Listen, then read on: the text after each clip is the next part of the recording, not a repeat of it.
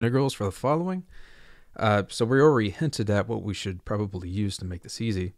So u should be set to the square root of x here. So what's going to happen is, um, all right, so u's equal to that. So du is going to be equal to 1 half because that's the same thing as a square root of x, or is the same thing as x raised to the 1 half, x raised to the negative 1 half, which is the same thing as 1 over the square root of x.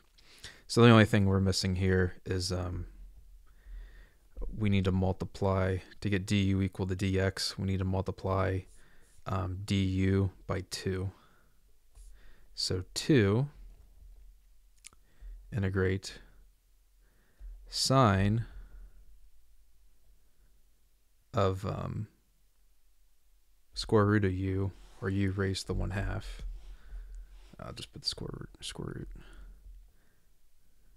Actually, you know what? It's just u because it's set to the square root du. And then um, when we integrate this, we get 2 sine of u plus c. Substitute back in. We end up with, um,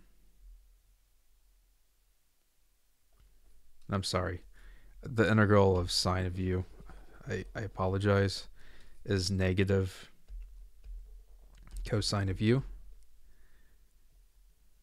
plus c. So sub back in, we have negative 2 cosine of the square root of x plus c. So that's it for part A. What about part B?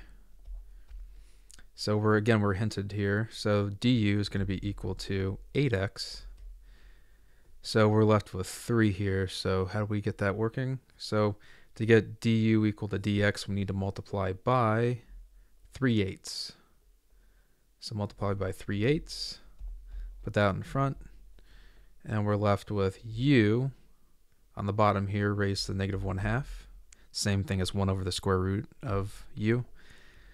du, when we integrate, we get 3 eighths um, u raised to the negative 1 half plus 1, 1 half, and then um, negative 1 half plus 1 on the bottom.